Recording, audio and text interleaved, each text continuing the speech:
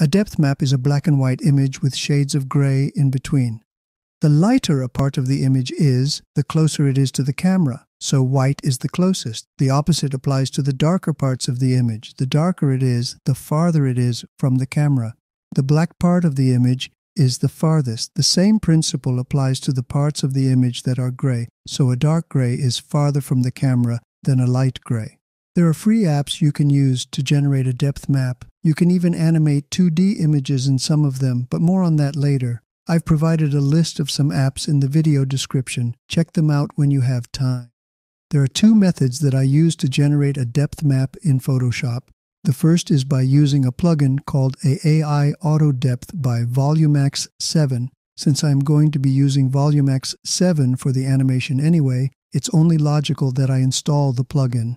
The second method is by using Photoshop Neural Filters. Let me show you how they work. First, I'll show you the AI Auto Depth plugin. In this example, I am going to combine these two layers by flattening the image. I only need one source image for this to work. While the image layer is selected, I will go to Window, then select Action in the Action menu. I will go to Volumax 7. Right below Volumax is the AI Auto Depth plugin. I'm going to select the plugin and then go to the small play button just below it and click it. The plugin calculates and then the depth map is generated. Two additional layers are created in the Layers panel, which means that the plugin is non-destructive, thereby preserving the original image.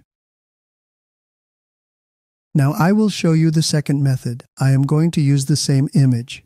In the Filter menu, I will choose Neural Filters. In the Neural Filters page, I will choose Depth Blur. In the Depth Blur Adjustment page, I will leave the Focus Object box empty. Then I'll navigate to Output Depth Map box and activate it. I will click OK and the depth map is generated. This second method requires an extra step, however. If you look at the depth map, it is in reverse. What's supposed to be black is white, and, and what's supposed to be white is black. We want the opposite, so to fix that, I'm going to go to Image, then select Adjustments, and then select Invert. We can now proceed to export our depth map. We will bring you more multimedia tutorials, so please like, share, and subscribe. Thanks for watching.